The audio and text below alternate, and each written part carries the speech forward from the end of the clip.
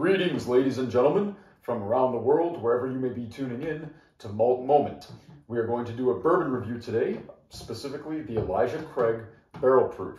I had planned to do a whole slew of bourbon reviews in September, but then life got in the way, things got a little bit busy with a new job, school started up again for me, and I just sort of lost track. Also, I fell a little bit under the weather and I lost my speaking voice for about a week and a half which for those of you who have heard my dulcet tones, you know what a loss that is to the world at large. But I'm back, feeling much better. So for the next few reviews, I'm going to go through and do the bourbons that I had originally planned to do all through September. Hope you guys don't mind. I'm just going to do them now. It's probably the next maybe three or four reviews. I'll hit you up with some bourbons. But like I said, today is the Elijah Craig Barrel Proof. This comes out uh, three times per year, and it's a release from the Heaven Hill Bourbon Distillery and it is a Kentucky distillery, Kentucky straight bourbon whiskey, says right on the label. And again, comes at you barrel proof. So the standard Elijah Craig is about 47% ABV. The barrel proof batches are all a little bit different ABV, but they're pulled straight from the barrel without being watered down. And this one is batch B519, and it comes at you at 61.1% ABV, or 122.2 proof. Now, you can tell which release you got based on the batch number. So this is batch B519. So B indicates that it's the second release of the year. Uh, so the alpha code at the beginning of this, whether it's A, B, or C, tells you whether it's the first, second, or third release of the year. 519, I can't remember what the 5 stands for, but the 1 9 is the numbers of the year it was released, in this case 2019.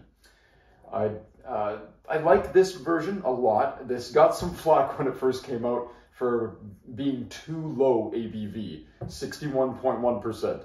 61.1% and it got flack for the ABV being too low. I, that to me is kind of silly and ridiculous. I actually really like this a lot. It's one of my favorite of the newer modern Elijah Craig barrel proof batches. They used to come out in a dumpier sort of pirate style bottle. And there's definitely been sort of a change in the quality since then, but I still think this is an excellent bourbon. The specs on this are great. Again, barrel proof, non-chill filtered, no coloring added, and it is aged for 12 years. It's just on the side label here. I don't know if you can see it in the lens in the camera, but that is aged for 12 years, and it clearly states on the label, non-chill filtration, and natural color. And that is the golden trifecta that we love in whiskey, especially for those of us who, you know, we're into this as our hobby. That's the kind of thing we like to see. So without further ado, let's dive into this bourbon.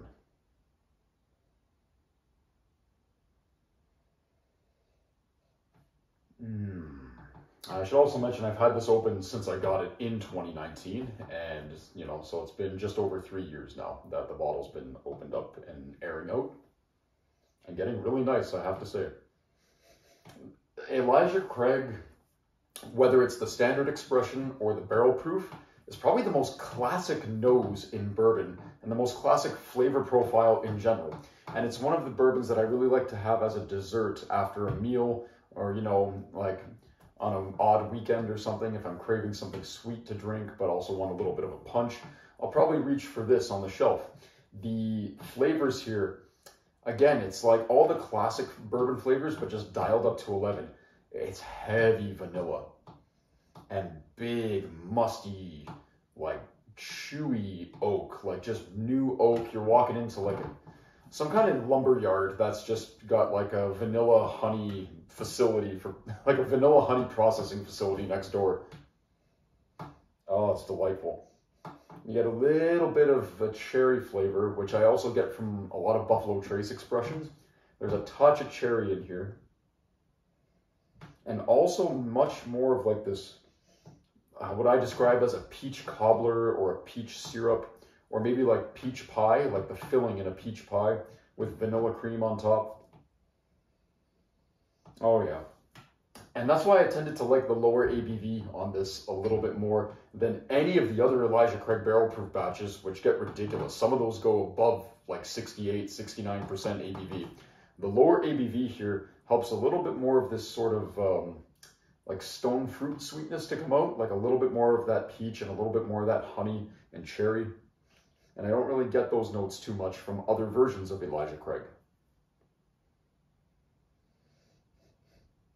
If you hold your nose a little further back from the glass, you get a little bit of cocoa powder as well. It's really nice. This is a beautiful bourbon on the nose. And not a lot of ethanol. There's a bit, don't get me wrong, there's a wave of alcohol coming out of here at 61.1%, but nowhere near as powerful and strong as you might think for a bourbon with the ABV being that high.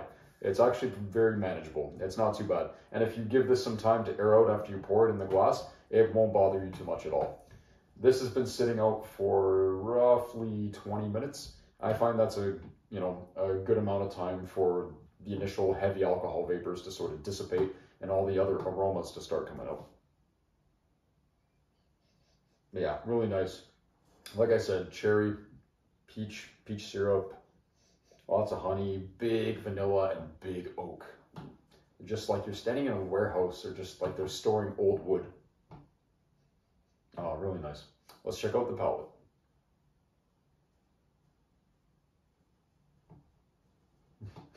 Mmm. There's the alcohol.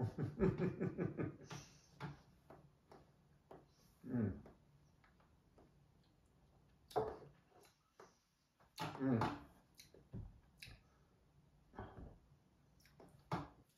How it feels to chew five gum. This is what five gum wishes it could feel like to chew. Wow. Bold and powerful. Almost too strong. I would actually like to take a little espresso spoon of water into this. Maybe just like half an espresso spoon of water. Temper it out even a little bit more. But man, flavorful. And not too different from the nose. The mouth is a little bit stronger cherry, a little bit stronger oak. Definitely you're getting that kind of uh, heavy tannic, not astringent oak wood flavor, but it's kind of getting there. A lot of spices and a little bit of that peach syrupy, like you just took a bite of a fresh peach maybe even on the back end, in the back of your throat. Not super buttery. There's actually, it's a distinct peach sensation like I, I've got a horrible sweet tooth. For anybody that knows me, if I have peaches, I'll make peach sundaes just on my own. I'll buy the ice cream and all the ingredients and stuff, and I'll chop up the peaches. This, the aftertaste is distinct, like you've just eaten a fresh peach. It's got that exact same sensation.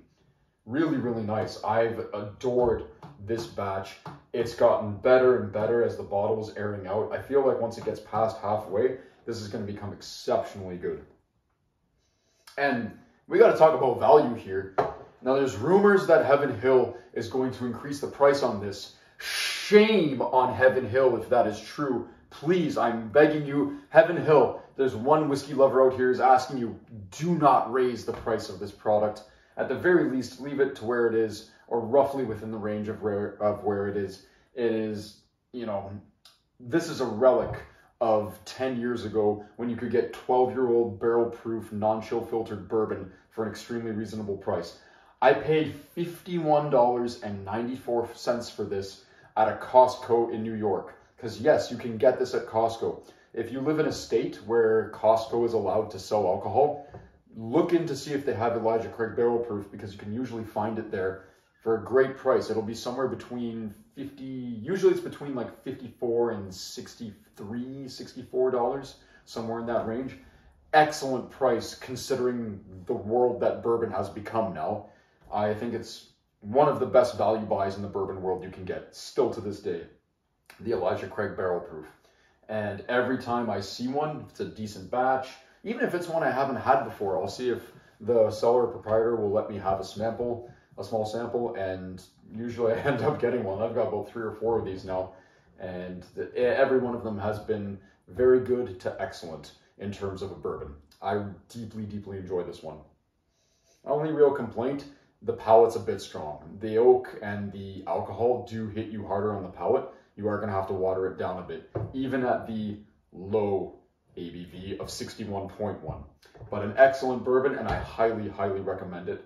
Score-wise, a 10 point scale. Oh man, just because the value is so good, and just because this is a batch that I particularly enjoy a little bit more, I'm gonna give it a seven out of 10.